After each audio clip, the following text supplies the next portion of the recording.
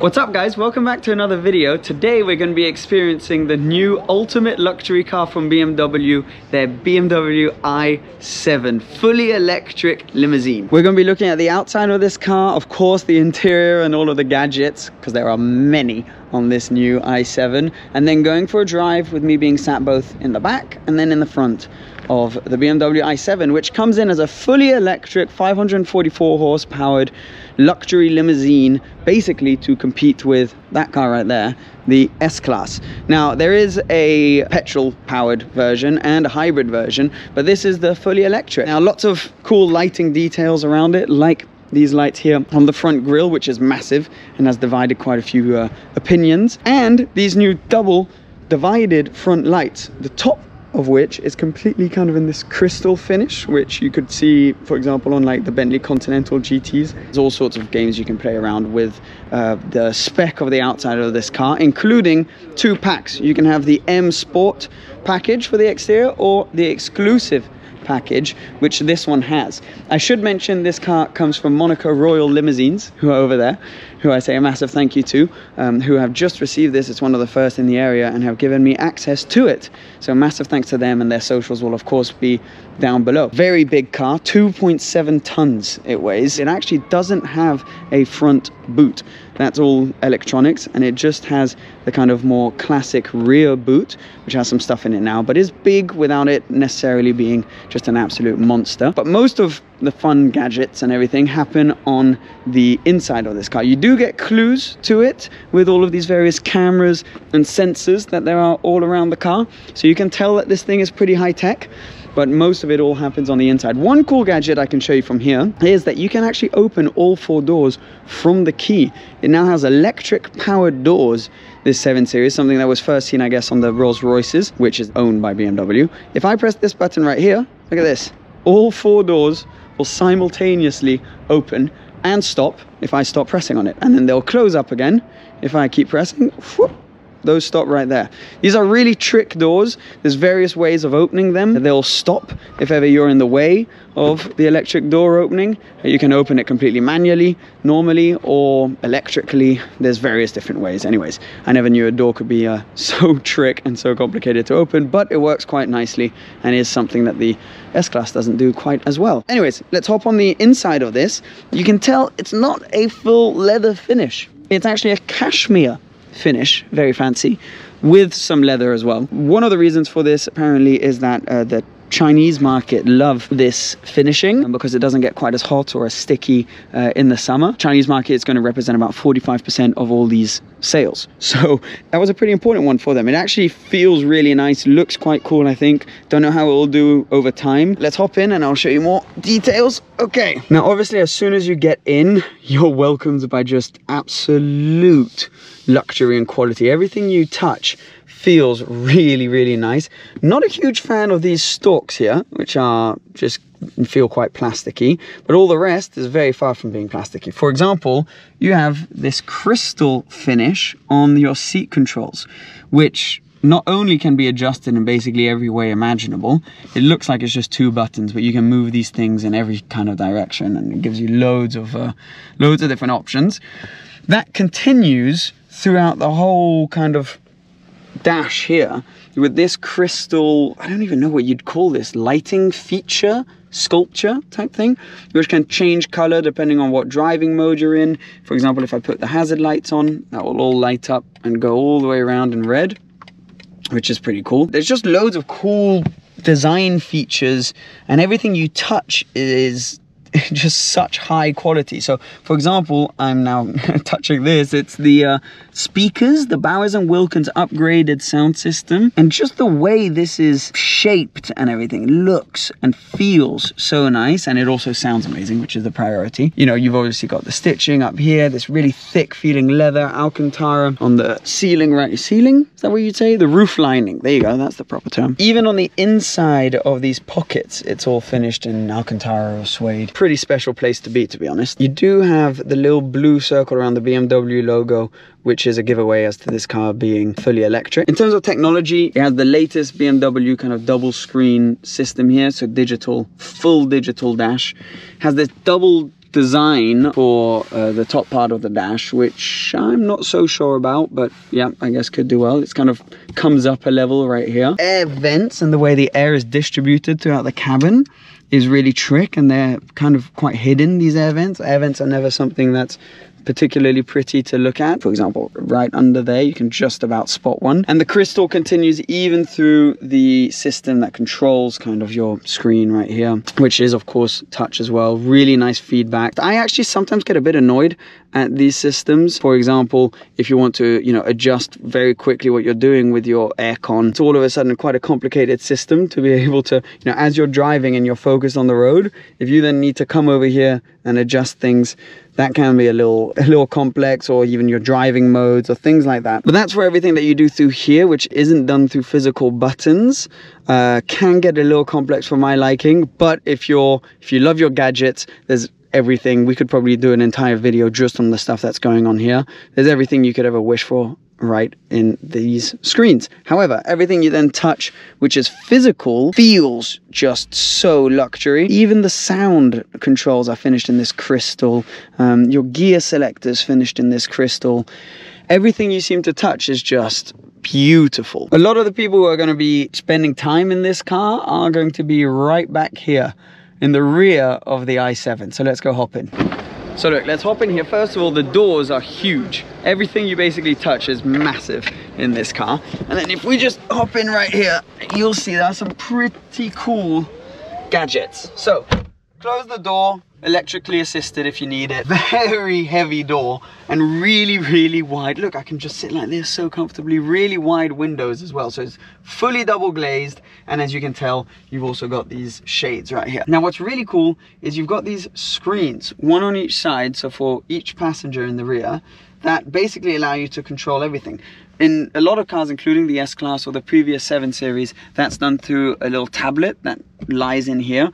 This has now become an induction charger. So I can charge my phone right here, which is quite a nice touch. And I also, while we're here, can show you that. Well, I have two other USB-C chargers there. You're not short of charging. For example, even right here, there's another charger. So you can charge wherever you need to. But back to these screens, really convenient. And it's a really intuitive positioning. Um, it's obviously where your arm's going to be lying most of the time and I just think it works really well the way they've put this in place. Gives me all of the things that I'd like to control. I can control the radio, my music, uh, I can control the various lighting around the car. I can control things like if I want my blind to come down, that's just very easily done through there. Here it doesn't bother me as much having everything done through a screen as much as it does in the front. In the front it just feels a little counterintuitive because you're driving and you're having to fiddle with the screen. Whereas back here, obviously, you're relaxed and you have time to spend time on, on this screen right here. Let's put that right back up. It allows me to do, obviously, all of my aircon and things like that and control my seating positions, of which there are many. There are many controls you can have. Massage seats for both the front and the back. Cooled and heated seats for both the front and the back. I've actually then got four different settings for the heated seat, for example, more than the usual three. There's i mean i don't even know how many is that eight ten nine different types of massages. And i can actually then set my seat if i press on a button right here into a very luxurious position. Now this is exclusive to the person sat behind the front passenger because obviously you can't do this with the driver because that would be a worrying driving position to be in. But the whole front passenger seat lies itself forward and a little footrest is going to come out from down below. Now it's a bit of a shame to have a white interior I find on this because you're putting your dirty shoes on your nice clean white interior. And then out of the seat here pops out a leg rest. So I feel like I'm basically sat in first or business class in an executive airplane whilst cruising down the motorway. It isn't actually massaged, the this part of the seat. And I sound like I'm complaining. I'm not at all complaining. I think that that is not something you need at all. However, it is available in the S-Class. And that's the only reason why I mention it. There is more space back here. I was just sat in the S-Class in the equivalent seating position because this is a way you can sit in the S-Class as well. And I have about 10 centimeters more leg room here. So I'm not, for example, I mean, I'm not the tallest of people in the world, but my feet aren't touching the front seat, whereas in the S-Class they were. I'm also a little bit reclined and just overall this is just a stunning stunning place to be back here. Another really cool detail that i haven't personally seen in another car before is the lighting finish included in the panoramic sunroof. So already first off just having a full panoramic sunroof is a really nice touch but then having it with lighting included, I'll try and put a clip of it now so you can see what that looks like better, is pretty spectacular and I guess is BMW's equivalent to the Rolls-Royce Starlight. Shall we see what it's like to be driven in this car first? Because I imagine a lot of people spend their time back here. Well, it only felt right to start in the back right here. How comfortable is this? This is special. We're just entering Casino Square here in Monaco in total luxury and I have no stress about you guys hearing me or not because uh, it is total silence in here. Not only because you have the really thick windows and just unbelievable sound deadening, but also because of the electric engine. No engine noise, you can't feel any gear shifts or anything like that because of course there is no gearbox. And I really think that the electric engine works well with this type of car. So when the Rolls-Royce Spectre was released, I remember that being the first car that I really thought, okay, that's cool. That makes an electric car sexy and appealing to someone who's, you know, used to uh, more traditional combustion engines. And this kind of pushes that further. It's my first experience in an ultra luxury, fully electric car. And it makes sense. It makes sense if you're staying in town, I think a bit more, because obviously there's still the issues of range. It's around 500 kilometers, driving like a saint and not on highways and things like that very different if you start doing long distance. But around town, if you're being driven around in the way that I very fortunately am right now, then it makes a lot of sense. As I said earlier, the positioning of this little screen I think is fantastic. You know, if I want to just kind of open myself up and see what's going on in the outside world out there, then I can very easily. It all is very intuitive. And this cashmere just feels so nice. Uh, I, I never thought of having a cashmere seat in a car before, but it makes total sense. And the amount of space that I have, and if I open all of the blinds, the amount of light that comes into this interior, it's just a really well thought out interior. And there are so many gadgets you can play around with. I just discovered, for example, that if I press this right here, all of a sudden I've got my cup holders and the crystal lights in the front keep changing colors and I can access anything that I wish from this little screen here.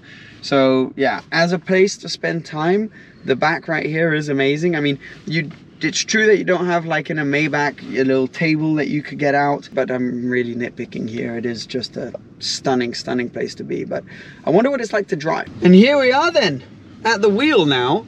And well, it feels really nice. It's not as large as you'd think. I got the guys behind just completely chilling out. Good visibility. Steering is so light. It's like steering into butter. It's unbelievable. And the steering wheel feels just such quality. And I've got this head-up display in front of me, this augmented reality kind of uh, display in front of me, which is uh, really cool. We just had to maneuver as well. And all of the sensors and cameras, you have basically every camera you could imagine on this car. So it will park itself, but it'll also memorize, for example, your driveway at home and be able to then park itself every time you get home, for example, which on a car of this size does make sense. You can feel that it's it's big, uh, heavy, so 2.7 tons of this thing, but the fact that there's no gear changes going on, no gearbox, really works well. As I was saying when I was sat back there, this type of car matches electric mobility really well. And it's just such a pleasant place to be. We're only driving around town. We're not going to be trying out the 0 to 60 and things like that. You have obviously all of the usual electric car kind of attributes, pretty instant acceleration if you want it. It basically also has fully one pedal drive, so it will use the regen on deceleration or downhill or things like that to power up the car. And the guys who have been driving it a lot told me that it's pretty incredible. You can just take one road which happens to be more downhill and get to the end of it and it will be 40 kilometers you'll have 40 kilometers more range or something by the end of it which is pretty outrageous clients who will be buying this mainly will have a driver a lot of the time and if they're getting the electric one it's probably because they're not doing the longest distances all the time. Even though this does have all types of fast charging available and the app that you can access to make it all easy i still think the average client of this specific model of the 7 series is going to be mainly in city. This is what they'll be doing most of the time.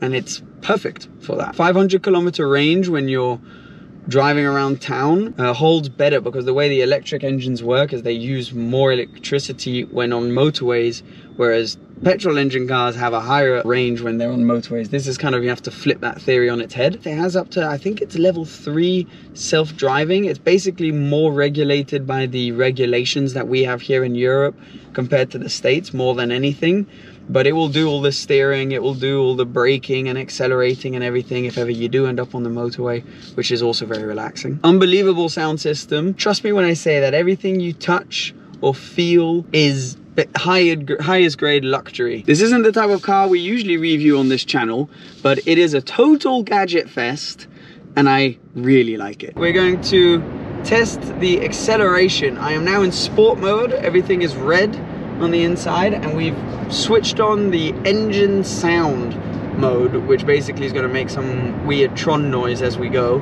but it's just so that you can get a sense of speed. You ready? Woohoo! Now it's pretty impressive because we were you know we weren't at a standstill which is where an electric car does best but there's there's punch there there's that instant torque you get from an electric engine and the noise is odd. You feel like you're in some like Tron movie or whatever, but yeah, that, that I'm not convinced by, but the, the acceleration and just the way it feels, it's one of those luxury cars that feels just as nice being sat in the back as it does actually being behind the wheel. For the outro, I decided to sit in the back. Look at this, boom, electric door closing, magnifique. Anyways, what a discovery this car i think it's i've really really really enjoyed it i feel very fortunate to have been able to experience it so many gadgets on this that i think we'll end up seeing trickle down to various other bmws and other cars so it's always cool to experience it firsthand i'm going to make the most of the back right here one thing I did want to show you is it's now dark, the lighting. If I put my light away, can you see the light in the panoramic sunroof? They're like these little light strips. It looks really cool uh, when you actually see it in person. Thank you guys. Thank you for being here. I'm going to put all the links down below. If ever you are around Monaco, you should get in touch with these guys if ever you need a luxury car to be driven around in. And I'll see you guys very soon. Take care. Bye-bye.